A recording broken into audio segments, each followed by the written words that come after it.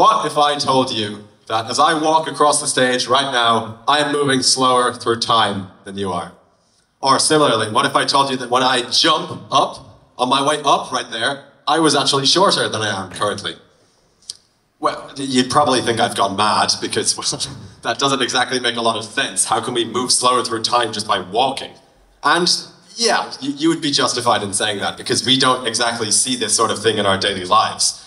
But a common theme when we look at the universe is that if we look at extreme cases beyond just the daily life, then the laws of physics don't actually behave as we might expect them to. And there's a few examples, and I'm going to focus on one today, which is described by a theory called the special theory of relativity. It was invented by a lot of people. A theory in science is rarely invented by just one person, but primarily by a German fellow who looked a bit like that. You may have heard of him before.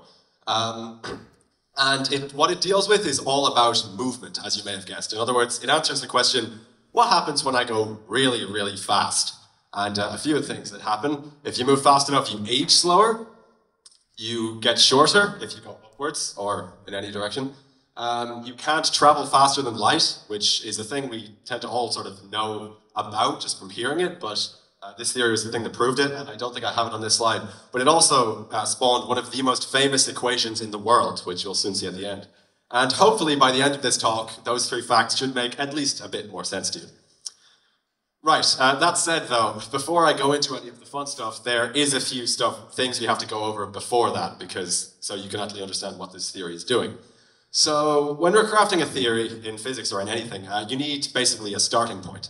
And in physics, they have a fancy name. They're called postulates. Uh, something that you accept to be true, and then you build your theory off of it. And you don't necessarily have to prove it, by the way. Although, that said, if it's disproven at a later date, then your whole theory is invalid. So you want to be pretty sure they'll hold. And thankfully for Einstein, they did. There are two of them for special relativity, and I think the simplest thing to do is just go through each individually, and then I can get on to the fun stuff afterwards. So, Without further ado, the first postulate is called the principle of relativity. It was invented a good 300 years before Einstein decided to look into this theory, and it states that the laws of physics are the same in all inertial frames of reference. Right. What does any of that mean? Um, the first part should hopefully make at least a bit of sense, and if it doesn't, I'll come back to sort of it, sort of at the end. It's those last four words there, I think, which would cause the most confusion. I mean, what's a frame of reference and what does it mean to be inertial? And I'll just explain that now. Um, a frame of reference is basically a fancy physics term for point of view. So if you take something, say, I'll use me for this example, and you look from its point of view, you can say, another way of saying that is you're in that object's frame of reference. So if you look from my eyes, so to speak, you're in my frame of reference. And the thing that we choose to look from has a special name. It's called the observer. But it's not just called that for the sake of naming things. It's, there's a very special property about the observer, which is at the heart of what this postulate is saying, which I'll explain using a simple example. This would work. Oh. Okay. So uh, here we have a rocket that's going to fly past a planet. And importantly, what I'm about to show you here is the exact same thing just viewed from two different points of view, or as we now know, frame of reference. So in this first one, the rocket's just going to fly past Earth. And imagine. You imagine you're standing on Earth looking at it fly by.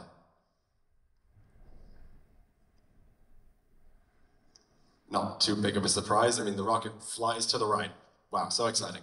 Um, and then in this second one, this is important. If you Imagine in this one that you're looking out the window of the rocket as you fly by the planet. Watch the difference. Did you notice there that the rocket didn't move? And that's not just a trick of the eyes either. When I was programming these animations, I had to specifically tell it the rocket doesn't move and the planet does. And importantly, in this one, we're looking from the rocket's point of view. In this one, it's the Earth's point of view. The Earth and the rocket are the observers in the scenarios where they don't move. And that is a very important fact when you take anything to be the observer, its speed is always considered to be zero. The observer never moves. And this can seem a bit weird at first, because what it's essentially implying is that as I walk across the stage here, there's two ways you can look at that. You can either say, from your point of view, or from your frame of reference, I'm moving and you guys are all stationary. Or if you take it from my frame of reference, I'm stationary and the whole world is moving backwards. And as weird as that sounds, what this postulate is saying and what I want you to understand is that nothing actually changes in either of those scenarios. Like, whether you take it so that I'm walking and you're stationary, or you're, st- you're uh, moving and I'm uh, not moving at all, I still end up in the same place. So if I walk from here to here, if the world had moved back, or if I had moved forward, I still get from point A to B. And that's exactly what this theory is saying. Regardless of what you choose as the observer, the way in which objects move does not change at all. And the way in which objects move is just the laws of physics. And there is a small caveat to this, which is the word inertial. Uh, all that essentially means is that the observer, its speed doesn't change. So if I start accelerating and running quickly, then this postulate will not apply. And there's an everyday example you can use to make sense of this, which is essentially imagine you're just in the car. If you slam on the accelerator, you're going to feel yourself get pushed back. Uh, and that is the exact thing that this, this postulate is no longer applying. But if you are moving, just cruising along at a norm, like a constant speed, you aren't changing, you can physically treat that scenario as if you are not moving at all, and it's completely impossible to tell the difference. Right, so there's the first postulate done, and that was all well before Einstein decided to mess things up. Um, and the second postulate is what causes all the weird stuff to happen. And to explain it, we essentially have to take all that stuff and ask one simple question What about light? Uh, to put it simply, light is not as simple as, nor, as applying it to normal objects, because according to other theories that had been invented beforehand, the speed of light was shown to be constant, or in other words, it never changes. It always stays at the same value of about 300 million meters per second. But importantly, as the, co- the concept of a speed that never changes is actually directly contradicting what I've just explained. And let me explain that, because what the principle of relativity is saying is you can make any object be not moving and the same thing, like everything, nothing changes, the same scenario will occur. But that's essentially saying the concept of speed is entirely subjective. Regardless of, like, you can measure the speed as I'm walking across here. From your frame of reference, I'm moving across the stage. But remember, from mine, I am stationary and the entire world moves backwards. So I actually measure you guys as moving. So we can have two different speeds that, according to that previous postulate, are equally valid. So how can light always stay the same? And what Einstein basically says was, all right, screw all that other stuff, it just always does. so light, the speed of light, basically, the second postulate says the speed of light, or c as it is up here, stays the same in any reference frame. So no matter where you look at it from, it will always move at the same rate. However, um, as you may imagine, this does not come without its fair share of problems, one of such which is here.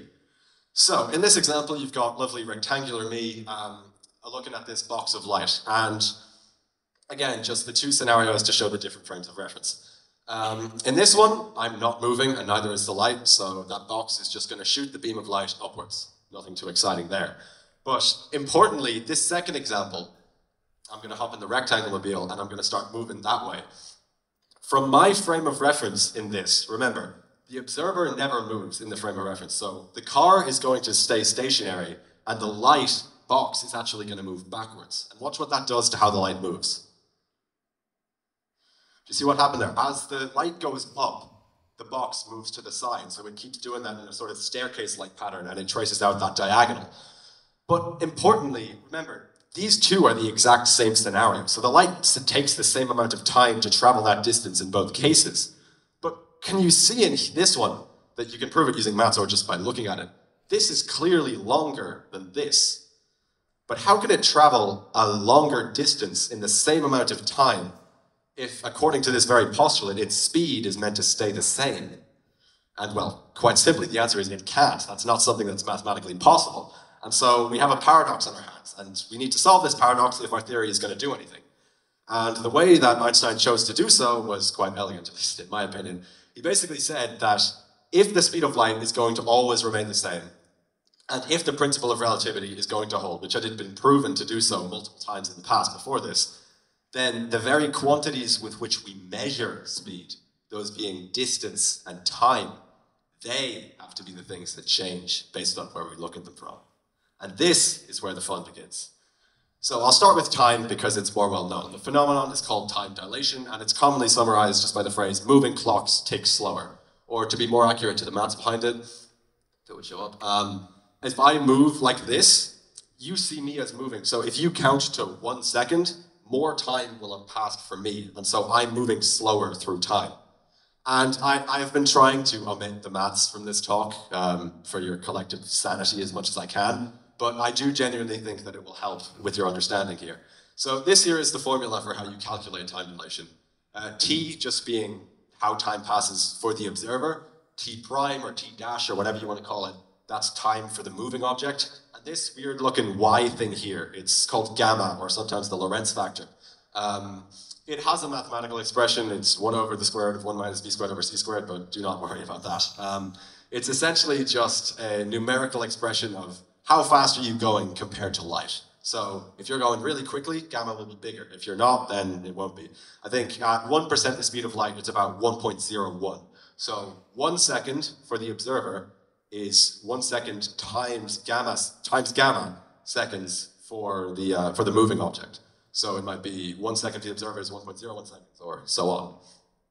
And an important thing to note is that this does not become nearly significant enough to be observable at everyday speeds. You can see I put an example there. At 120 kilometers an hour, lightness or time is slowed down by uh, that much percent. I'm not going to read that out. I think you can appreciate that as a very small number.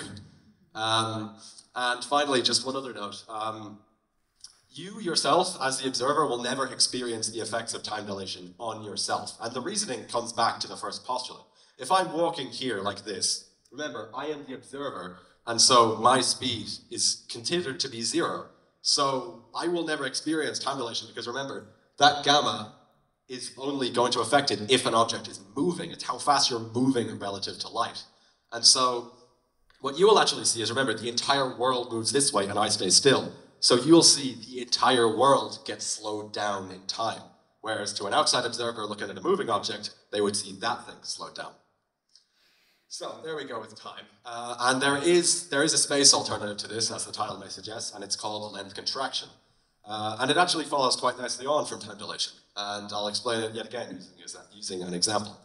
So I've got this rod here, and I want to see how long is this rod, ignore the label I've put on it. Uh, I could do this like with a meter stick, like a normal person, but I'm a physicist. I want to do it the weird way and see what happens. And the way I'm going to do it is I'm going to get a clock and I'm going to slide it across the rod at a constant speed. And basically say, the longer it takes for it to cross the rod, the longer the rod is. Simple enough. Is what I would say if we hadn't just proven that time is different if you're moving. So let's have a look and see how that affects this.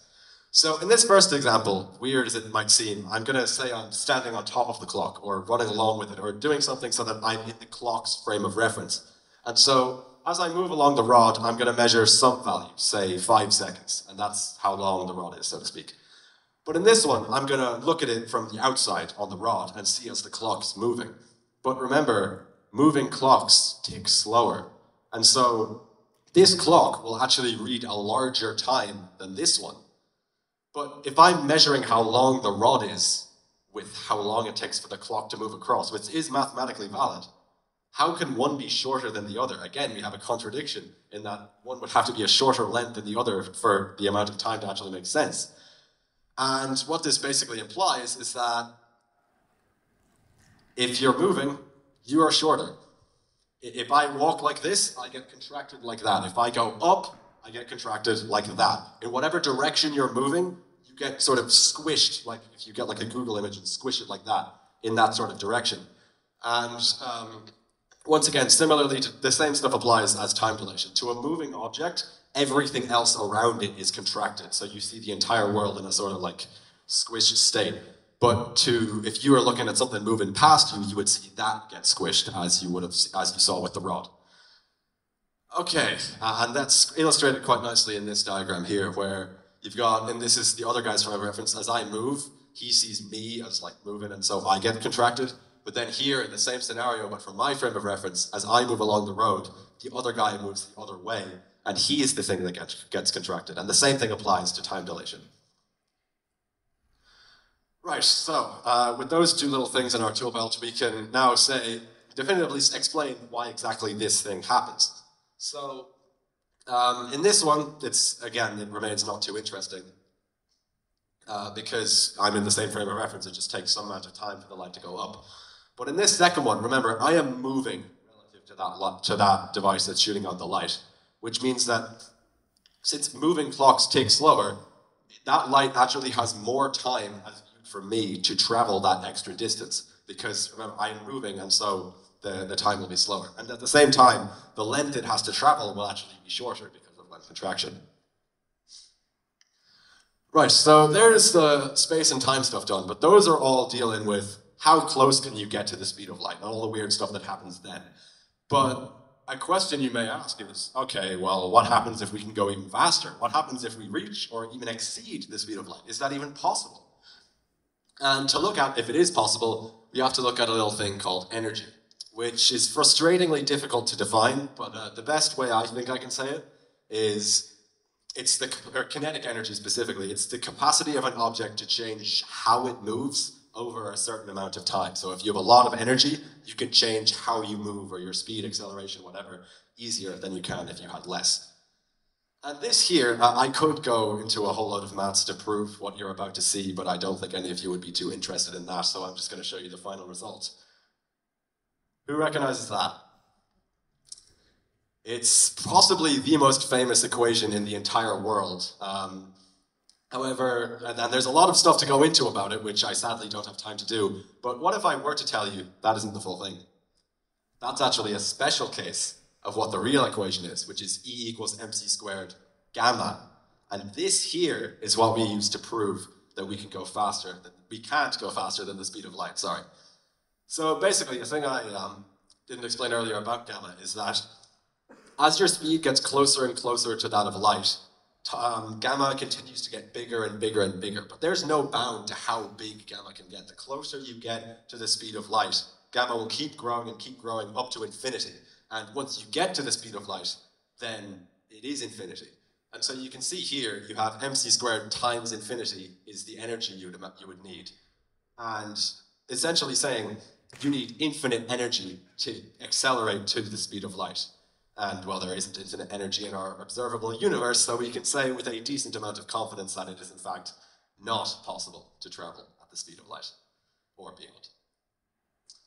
And right, there you have it. Uh, we've seen a whole load of weird stuff happen um, from time messing up to space getting shorter to fundamental revelations about mass, light, uh, mass, light, energy, and a whole bunch more. But what I really love about this theory personally is that it all stems from just one simple question. What happens when we go really, really fast? And well, the answer to it, when you go really, really fast, time and space become relative. And with that, my name is James Whelan, and I thank you all for listening to my TED Talk.